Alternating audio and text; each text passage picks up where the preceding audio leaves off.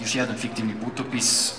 Ovog puta mesto dešavanja jeste Maroko, grad Tangir, dakle Orijent. Tangir kao poznata destinacija gde su umetnici dolazili da se revitalizuju. Matisse, Barrows, Jim Jarmusch, Panero.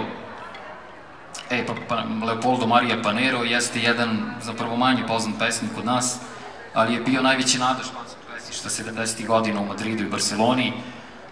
Čitava porodica je umetnički nastrojena, ali je, nažalost, i čitava porodica obolela od šizofrenije. Njegov otac je bio režimski pesnik generala Franka, a lirski subjekt i glavna, glavni liko, glavni junak ove pesme, Leopoldo Maria Panero, njegov sin je obolao šizofrenije tad na studijama i bio je zaključan na Las Palmasu, mislim nije bio zaključan, bio je u jednoj vrsti otvorene ludnici institucije i viđenje svakog dana kako se uh, sa džakom knjiga kreće po Las Palmasu, uh, kako recituje svoje stihove, kako sa bajkerima obilazi ostrvo.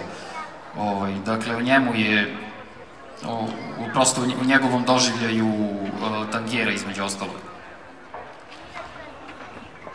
Kompozicija Egocentrična stvarnost, pesma Maroko.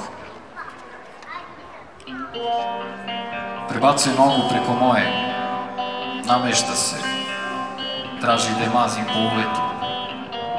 Čuju se noćne ptice, arapska muzika, razgovor ispod prozora, slušamo kako diše.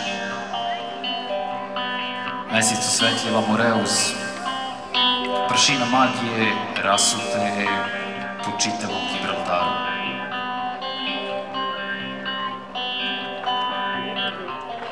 Čujem jebri i trube, dolaze s južni vetrovi Sahare.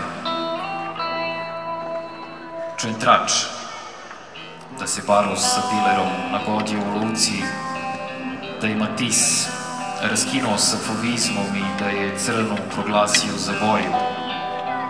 Senki krošnji plešu po belim zidovima stana, kao leptiri su, traju samo jednu noć.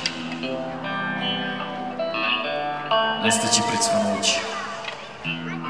U to doba dana kada je Leopoldo Maria Panero u klozetu kafe bara Tigris prokurvao svoju sreću.